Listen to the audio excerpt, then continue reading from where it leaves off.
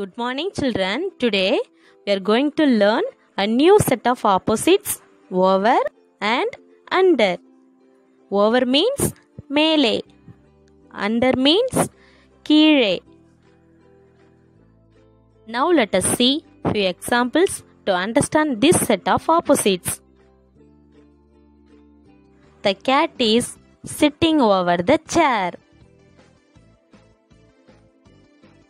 Cat is sitting under the table. The ball is over the box.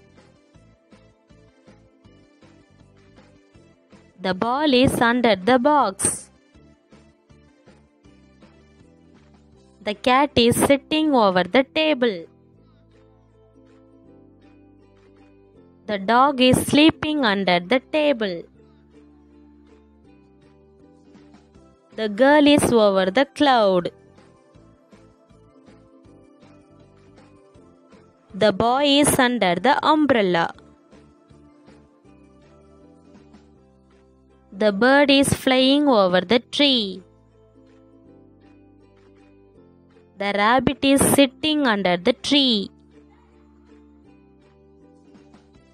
Children, hope you understood the new set of opposites over and under. Now kindly complete the worksheet children.